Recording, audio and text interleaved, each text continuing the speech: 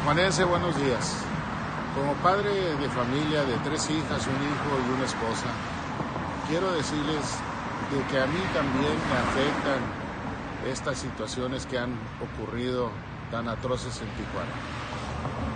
Yo quiero decirles que comparto el dolor de las familias que han tenido pérdidas de mujeres y hombres que han sufrido estas situaciones. No puedo imaginar el dolor que han de sentir estas familias, la situación de sentimientos que deben de tener en sus hogares.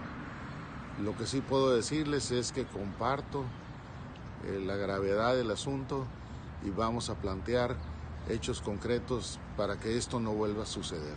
Como presidente municipal voy a tomar cartas sobre el asunto para presentar a Cabildo eh, cuestiones concretas para atender este grave asunto heredado de gobiernos anteriores y que nosotros sí vamos a atender. Instruiré a dependencia como, como Inmujer, DIF, INFU y también a la Secretaría de Bienestar para que elaboren planes concretos para la atención de las mujeres y evitar así que haya este tipo de crímenes. Instalaremos en la ciudad puntos naranjas donde las, donde las mujeres puedan sentirse seguras.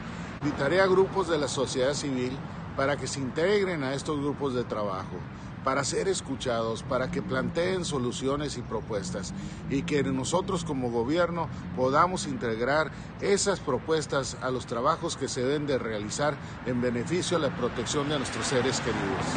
Reconozco a los ciudadanos que valientemente acudieron a la Marcha de la Paz el pasado sábado, pero desafortunadamente también debo señalar que hubo políticos que se aprovecharon del dolor ajeno, políticos del PAN, del PRI, del PRD, y aprovecharon esta marcha para descalificar políticamente a los gobiernos en turno.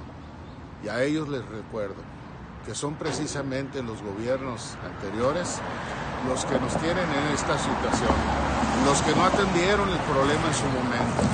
Y somos nosotros los que estamos dando el frente, los que estamos dando la cara y los que vamos a atender de frente esta situación. El gobernador del estado se comprometió a la declaración de alerta de género. Nosotros como sociedad debemos de participar junto con él en acciones propositivas para solucionar este problema. Y así vamos a estar atentos. Nosotros vamos a estar dándoles a ustedes la cara, vamos a darle acciones que respondan ante esta grave situación que está viviendo no solo Tijuana, sino todo México. Muchas gracias.